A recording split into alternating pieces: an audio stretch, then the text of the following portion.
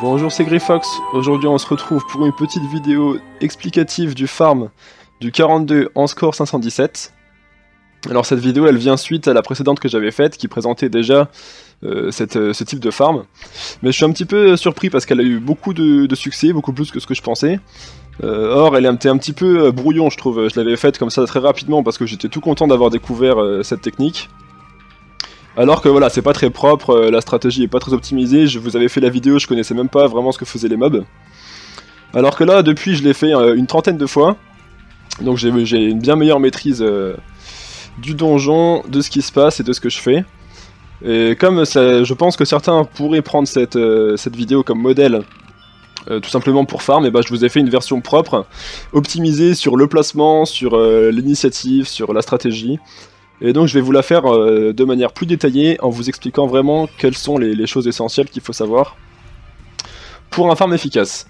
Bon alors, première chose à noter, on a un challenge mystique à 90%, ça fait plaisir. Sachant que c'est euh, bah, auto-win, hein, mystique, on peut pas vraiment le louper.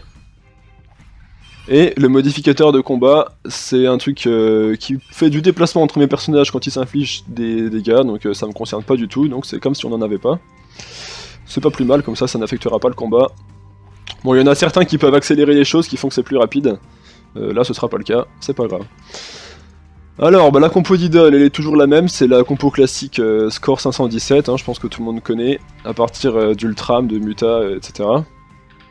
Cette fois-ci, vous avez vu que je suis à 8 personnages, puisque dans ma vidéo précédente, j'étais à 6 personnages, c'était dans un souci d'efficacité, c'était juste pour avoir quelque chose de plus rapide à vous présenter. Donc je prends toujours la même team, on va dire, qui gère le combat. Et je prends cette fois-ci 3 mules sagesse. Donc là, voilà, c'est vraiment des mules que j'ai prises euh, bah, pour, euh, pour remplir le groupe, quoi, pour, euh, pour faire quelque chose de, convenable. les stuff sagesse sont pas du tout optimisés, il n'y a pas de bonbons, il n'y a pas de... Voilà, c'est vraiment pour, pour faire un groupe de 8, pour avoir un modèle. Au niveau du placement, on est sur quelque chose d'assez similaire, j'ai juste modifié le placement initial, vous avez peut-être pu le remarquer, pour que je sois pas embêté, notamment avec avec le horaire qui passe euh, parmi mes personnages, pour sinon elle m'en déplace un, c'est un petit peu gênant. Au premier tour, avec l'écran, j'ai chargé euh, toutes les flèches. Donc euh, quand j'entends toutes les flèches, je veux dire punitive expiation. Hop, voilà les dégâts sympas. Moi j'ai pas très bien géré là, j'aurais dû mettre la zone sur les deux, ça aurait tué le 60. Voilà. Hop là Allez, ouf. Donc les cracks qui, chargent leurs flèches au premier tour, qui se full boost au deuxième tour et qui commencent eh bah, tout simplement à faire le ménage. Hein. Là je vais pouvoir vous présenter plus en détail ce que font les différents mobs. On va mettre un peu de distance, hop. Le roublard qui est toujours euh, là pour booster, en panneau de classe pour pouvoir placer les bombes sans ligne de vue. Euh, avec le kaboom euh, tous les deux tours et des réductions du coup en PA de pas mal de sorts. Vous remarquerez que sur la vidéo précédente, je l'avais mis aligné avec les autres personnages, alors que là, je le décale d'une case. Euh, pourquoi je fais ça? Tout simplement parce que ça gêne pas du tout. Euh, là, il est toujours aligné avec le bloc qui fait qu'il ne soigne aucun, ennemi. Alors, les qui continue à placer son râle. On met le boss à 0 PM. Voilà. Et cette, cette, petite case, en fait, elle me sert après à mettre le coffre animé à la fin du combat. Euh, sans qu'il aille vadrouiller et m'embêter à être dans mes pattes au mauvais moment, quoi. Donc c'est plutôt pas mal, hein, plutôt pratique. Alors, les mobs, qu'est-ce qu'ils font? Le 60, c'est le plus dangereux. Euh, tout simplement parce qu'il met des poisons avec pas mal de portée. Et si on fait pas gaffe, eh ben on se retrouve vite avec euh, un perso qui tombe à son tour sans qu'on comprenne trop pourquoi. Et ben c'est parce qu'on n'a pas été attentif et qu'on a pris un poison, tout simplement. Donc il faut faire attention. Hop, donc là toujours une gestion de la distance importante. On retire de la portée. Voilà, toujours garder le bon nombre de PM pour venir se replacer si on se fait attirer par le 7 qui nous attire si euh, il a plus de 50% de PV. Alors là il faut que je termine le 33. Donc bon, tous les mobs je les avais déjà un petit peu présentés dans la vidéo précédente, mais là je, on va dire que j'ai une meilleure maîtrise de ce qu'ils font. Est-ce que je le termine? Non. Hop, voilà, comme ça c'est bon. Lui aussi. Hop là, on vient se remettre le 22 qui n'aura pas assez de portée pour venir me toucher. Donc là voilà, vous voyez que j'ai assez, j'ai suffisamment de PM du coup pour venir me placer, mettre le kaboom, poser les bombes et revenir me poser à ma case. Sachant que le, problème de PM il s'amoindrit au fur et à mesure du combat, tout simplement parce que je me booste en PM euh, petit à petit. Hein. Donc à la fin, j'ai plus 3 PM sur les, les persos, euh, et le roublard. C'est assez pratique. Voilà, bon là le combat se déroule tranquillement. On va commencer euh, à taper le boss avec les expiations. Hop. On pense bien à se décaler euh, des alliés tout simplement à cause du 22. Alors là vous voyez que j'ai été attiré. Tout simplement parce que j'ai tapé le 7 et donc il faut faire attention, des fois ça me met un petit peu dans l'embarras par rapport au, renvoi de dégâts du 22 parce que euh, au début du tour j'étais bien placé mais à cause du déplacement je finis par tuer un allié. C'est un petit peu triste. Voilà, voilà. Donc là vous voyez que j'ai pas eu assez de PM pour me replacer avec le Drifax, le Kra, donc c'est pas gênant, hein, le, roublard va replacer sans problème. Allez, hop, plus de boss. Ça c'est fait. Alors, une fois qu'il y a la nouvelle vague qui proc, qu'est-ce qu'on fait? On peut mettre des flèches empoisonnées qui retirent des PM et qui mettent euh, un poison qui peut être utile si on laisse un mob avec quelques petits PV. Euh, tout simplement, ça nous fait gagner un tour, hein, ça fait gagner du temps. Alors là, la roublarde qui vient replacer. On remet toujours les bombes, voilà, la roublarde, hein, vraiment le jeu est très très plat, on fait toujours la même chose, mais c'est efficace, donc on va pas s'en plaindre. Voilà, le boost. Voilà, bon voilà, les mobs, euh, je pense que j'ai à, peu près fait le tour des choses qu'il faut savoir. Hein. Le reste, c'est que des trucs style boost de PM, euh, le 13 qui se rajoute des petites résistances. mais bon, dans la mesure où en fait ils jouent quasiment jamais puisqu'ils sont morts avant de pouvoir faire quoi que ce soit. C'est pas vraiment gênant. Hop. Voilà, donc toujours, on garde à l'esprit, le danger c'est le 60, le 33, le renvoi de dégâts du 22. C'est vraiment eux qui peuvent poser problème. Alors là, on va se faire un petit massacre là-haut. Hop, hop, hop. Et l'œil de taupe qui devrait en terminer. Ah non, de peu. Dommage. On va donc terminer avec le crash suivant, c'est pas du tout gênant. Hop là. Ça, ça dégage, ça, ça dégage. Ensuite, le 33 qu'on peut tuer en crit max. Bon, on va pas jouer avec le feu. Voilà. On lui met une petite flèche destructrice de sécurité. Le 60 hein, qu'on va essayer de focus avant qu'il puisse aller placer quoi que ce soit. Le 33 suivant, moi qui va y passer aussi je pense, hein, tout simplement. Voilà. Hop. Le 60 qui ne jouera pas non plus. Hop là. On continue à se booster. Euh, en parallèle de ces vidéos, je vais vous sortir ah, j'ai oublié une bombe. Je vais vous sortir euh, une vidéo sur euh, ce que je fais avec les ressources que je drop, parce que bah, comme vous pouvez l'imaginer, je drop énormément de choses. Tout en x8, en plus avec le avec les idoles, on est sur du 100% de drop. Hein. Donc, ou quasiment, ou presque. Plus les chals, voilà, bon, on drop tout au max. ce que je fais, c'est que je craft des panneaux et que je les brise. donc voilà, vous allez voir ça très vite. Donc là, voilà, vous voyez, si j'avais si retapé le 22 à cause du déplacement du 7, ça m'aurait fait tuer un Kra. Donc on sort des cadres, on n'oublie pas, sinon euh, ça peut être vraiment dangereux quoi. Euh, est-ce que je le termine Oui. Hop Et lui aussi, en crit. Allez, parfait. On se replace tranquillement. Alors ce qui est extrêmement chiant, c'est qu'à chaque fois que les mobs ils apparaissent, voilà, ils leur font leurs petites animations là. Et ça me fait perdre à chaque fois 5-6 secondes. C'est très énervant, sachant que j'ai désactivé les effets des sorts, donc euh, c'est un petit peu bizarre qu'il y ait toujours ça.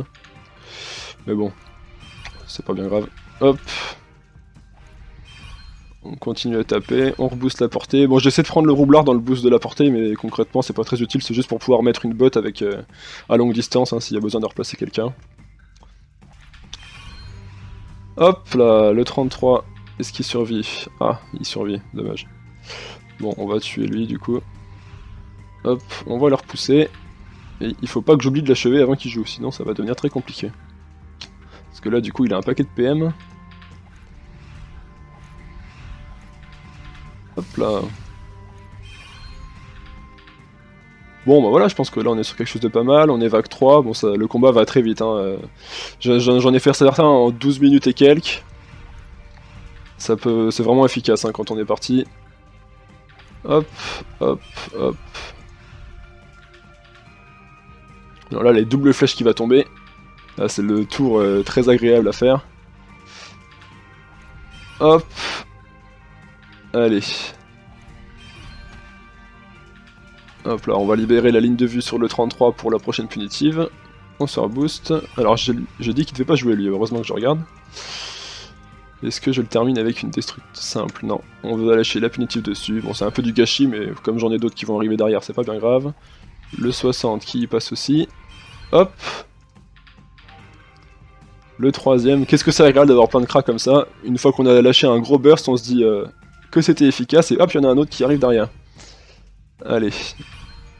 Le 22, que je pense que je tue aussi. Oh, alors là, il faut que je fasse gaffe. Au niveau du placement.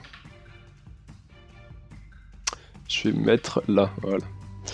Parce que là, sinon, il y avait le renvoi de dégâts et j'aurais perdu un crat. Il a pas de PM, il n'y a pas de danger. Hop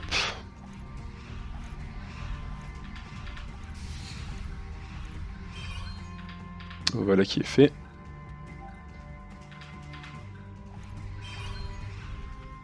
On va pouvoir placer bientôt le coffre animé hein, en prévision de la vague, euh, de la dernière vague qui va pas tarder à arriver. Voilà, là on termine ça. Hop. Lui, je pense que je le termine. Voilà. Sans problème. J'ai pris quelques petites mules, euh, je fais des passages, je fais un 1 million de combat. Donc euh, par exemple si j'ai un client, bah, je prends deux mules à moi et je rajoute un client, ça me fait quelques petits revenus en plus, ça me permet d'amortir un petit peu les frais de, des stuffs. Ah oui, parce que chose que je n'ai pas précisé aussi depuis la dernière vidéo, j'ai restuff les cracks correctement. Euh, ils ont quelque chose d'assez correct. Il y a juste en fait euh, le troisième cra auquel il manque deux Dofus. Mais bon, il a quand même son Dofus Ocre pour être au maximum au niveau des PA. Voilà, là on joue en 16-9, c'est quand même assez confortable. Et voilà, les mobs ils arrivent, ils crèvent direct, hein, c'est efficace clairement. Allez, on va quand même mettre un petit poison sur celui là-haut. Hop là.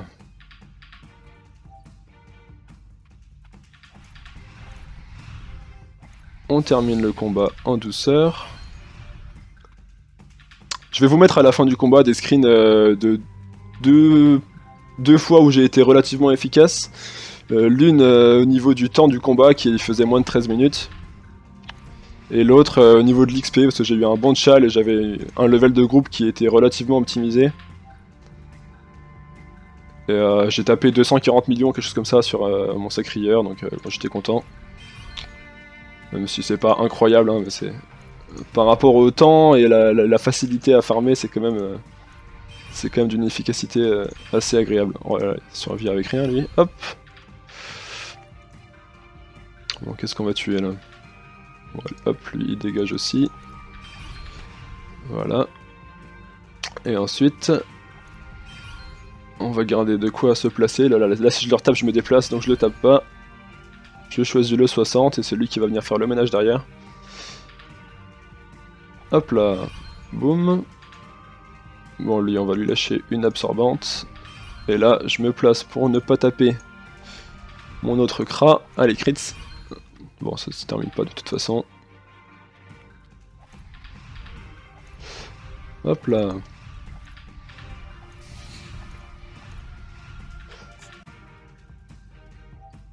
Bon, même pas besoin de râle hein, là, clairement. Ah, j'aurais pu poser le coffre. Bon, je pense pas que je terminerai au tour prochain, ce sera sûrement au tour. Euh, fin du tour 11 que je vais terminer le combat.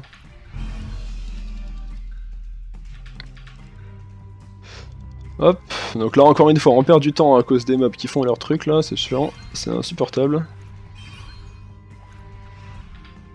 Parce que le but hein, c'est vraiment de, jouer vite, d'être efficace euh, si on veut ne pas y perdre trop de temps. Allez, zou. Qui est dommage, c'est que les poisons ils ne sont plus cumulables, alors qu'avant ils l'étaient. Je me rappelle quand je fermais le Nidas, je lui mettais 6 poisons dessus et euh, il prenait 2500 voire 3000 de dégâts à son tour, c'était vraiment agréable. Là on peut plus, bon bah c'est... Ils font des petits changements, on va pas leur en vouloir, je crois que lui il n'a pas pris. Hop Allez, dernier boost que je pose. On est vague 5, c'est la fin. Hop là, on va terminer en beauté avec un gros Rox.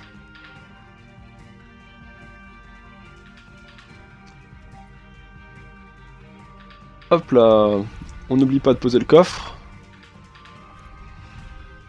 Et là, j'aurai tout pile ce qu'il me faut. Non, même pas, j'ai un PM de rap pour me replacer, c'est parfait. Ben voilà, version un petit peu plus propre quand même de, de ce farm, un petit peu plus soigné. Le 33 qui va y passer très vite. Hop.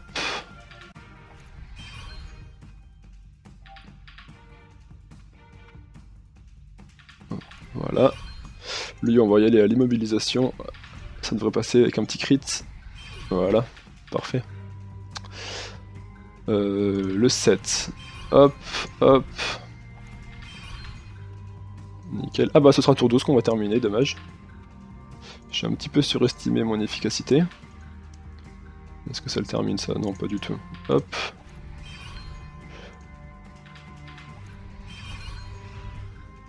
Hop là, voilà.